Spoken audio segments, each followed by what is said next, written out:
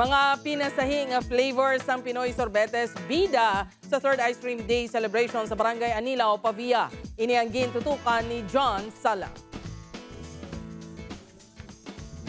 Perfect para sa pagbeat sang summer heat ang ice cream. Ilabi na kung ang flavors, chocolate, vanilla, kag madamo pa. Pero balaan mo bala nga ang ice cream pwede man nga i-twist sa flavor sa mga utan? Sa Barangay Anilao, Pavia, bida sa third ice cream day ang apple and carrots, malunggay, sili with mulberry and pili nuts, kag ampalaya flavored ice creams. Ini isa kapasidungog sa aton mga ice cream vendor sa Barangay Anilaw. Kay dirigin ng sugod ang ice cream or ginatawag naton nga dirty ice cream or sorbetes sa Banwasang Pabia. 1960s pa sang ginupisahan ang paghimo sang ice cream o kon sorbetes sa lugar. Tubtob nga nangin palabuhian na ini sang pila ka mga residente. Subong tuig, nagpasakop sa kompetisyon ang 19 tanan ka mga ice cream makers. Sa unique sir mo ang flavor tanan.